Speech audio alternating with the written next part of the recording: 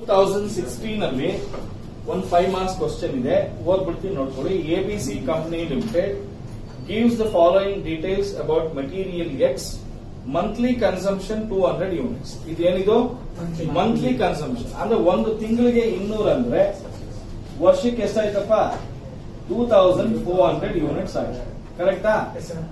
Next average cost per order ಎಷ್ಟಂತೆ? Forty rupees ಅಂತೆ. Average cost per unit is twenty ಇದರ ಮೇಲೆ twenty four percent holding cost ಅಂತ. ಹಾಗಾದ್ರೆ twenty four percent ಅಂದ್ರೆ ಎಷ್ಟಾಗುತ್ತಪ್ಪ?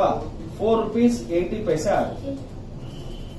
ಕರೆಕ್ಟಾ carrying cost per unit is four rupees eighty ಪೈಸೆ ಕರೆಕ್ಟಾ ನಾವು ಕೆರಳ ಎಂಟು ಎರಡು ನಾಲ್ಕು. ಕರೆಕ್ಟ್ ಆಗಿ ಕರೆಕ್ಟ್ ಆಗಿ ಈಗ ಇನ್ನೇನಿದೆ? ಮಿಕ್ಕಿದ್ ಮಾಡಿದ್ರೆ ಆಯ್ತು. Two into two thousand four hundred into forty divided by four point eight whole root one lakh ninety two thousand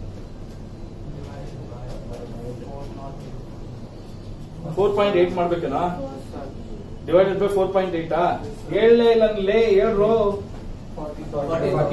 forty thousand forty thousand ಏನಾ? ಟೂ ಹಂಡ್ರೆಡ್ ಅಂದ್ರೆ two hundred units maximum order ಮಾಡಬೇಕು